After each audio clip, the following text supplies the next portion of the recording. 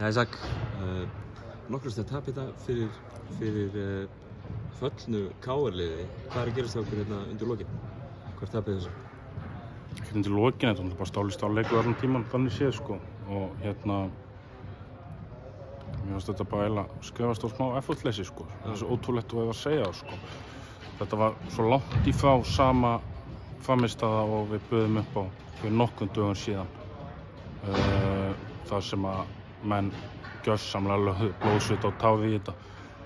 Ég veit ekki hvort að við áttum okkur ekki, eða menn áttu sér ekki á því hversu mikið var undir en, en, en hérna, ég bara hef eiginlega ekki, ekki svöð að svo stöddu nema bara mér fannst, mér fannst ekki sami andur var sérst.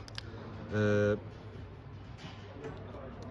káarliði sjálfsögðu svona þannig sé að berjast fyrir, fyrir lífið sínu þráttur að svo bara þetta hafa einhvern veginn verið verið búin, en þið eru þarna ennþá að berjast til lífið ykkar, þið eru í 11. sætinu, hvað mögulega sérðu fyrir liðið til þess að vinna sig upp úr því og bjarga sætinu í deildinu? Sína sem er framistöðu síðasta leik og ekki þessa framistöðu. Nei.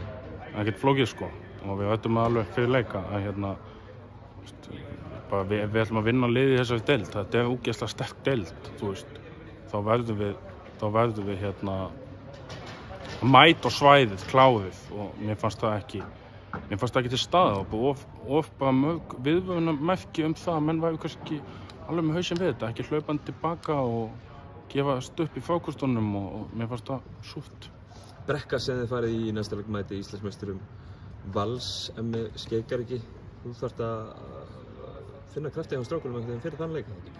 Jú, jú, bara klálega hvernig ætlar að gera það?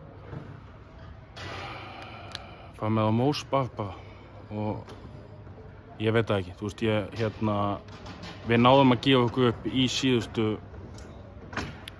þrjá og hálfan leik á undan þessum fannst mér, við sína góða framistöð og mér fannst við sína svona þessar baráttu sem enginn er í. Er mér fannst þetta, þetta var okkur ógeðslega leðlug kaupalleiku að horfa á það því að mér fannst hann bara svona soft og dabbuð eitthvað.